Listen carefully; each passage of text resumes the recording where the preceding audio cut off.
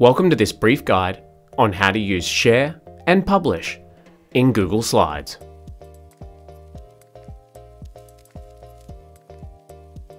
I've done my Google Slides presentation, it's basically all ready to go, and I'm looking to share it with my friends and colleagues.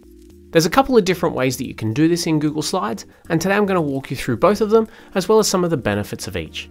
Here you can see I have my presentation ready. I've got all of my slides, I've got some photos and images, and as you can see I've added some animations as well, and a few transitions.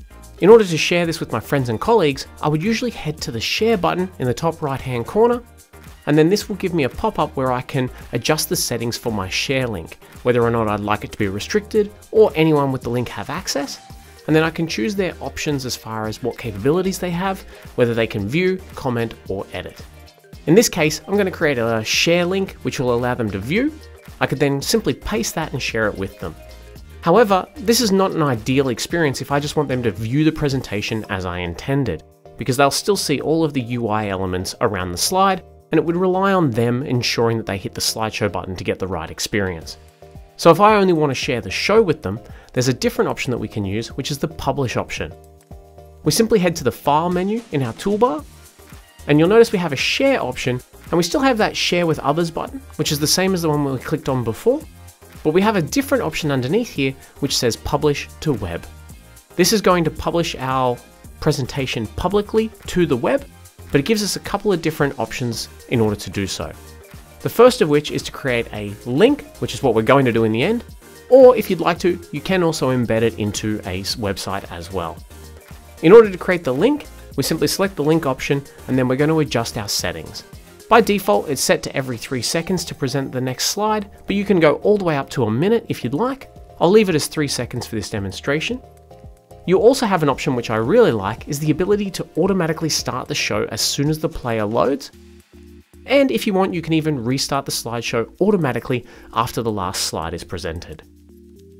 Once you're ready to share your presentation, Click on the publish button and you'll have a pop-up asking you, are you sure you wish to publish this? Because this will make your presentation public. Now we have a link that we can simply copy or use one of the options down underneath there to automatically share it to social media. And then when we create a new tab and we simply paste in that presentation link, we'll see that we automatically have our presentation open with none of the UI elements around it, and the slideshow is automatically playing. By entering into full screen mode, we can get rid of all of our browser entirely, and it's a great experience if you're looking to utilize it for something like an announcement board, or if you just want to share that presentation and ensure that the people are experiencing it the way you intended.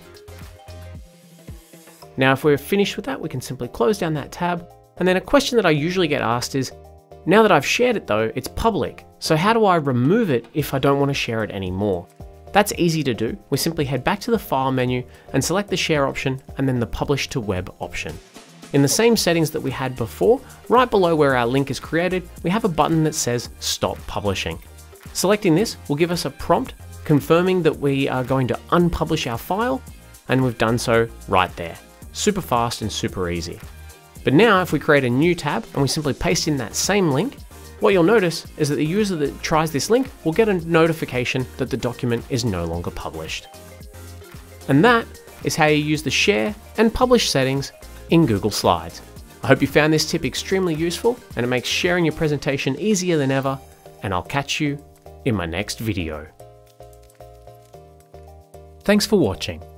If you'd like to see more content like this, be sure to check out the channel, and if you like what you see, don't forget to hit that subscribe button.